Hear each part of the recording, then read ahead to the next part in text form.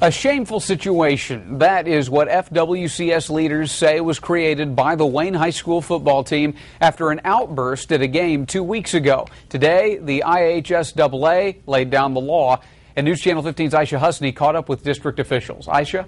Well, the district has accepted the IHSAA ruling and said it will not tolerate bad behavior. This is what everyone is talking about. This video here, our cameras were rolling when a ref made a call against a Wayne player. Suddenly, teammates started screaming, crying, yelling, even throwing things as the coaches and parents rushed the field.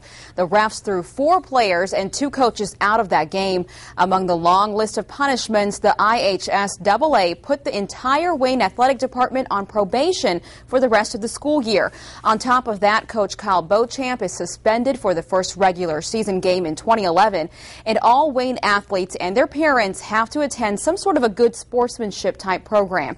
A FWCS spokeswoman told us today it's a shame the actions of a few players now reflect so poorly on the entire school. It was a very emotional game that night. Uh, some people made some bad decisions and um, acted inappropriately, and um, we don't tolerate that kind of behavior. We take full responsibility for what happened, and in fact, we had already done our own investigation and uh, we're taking action.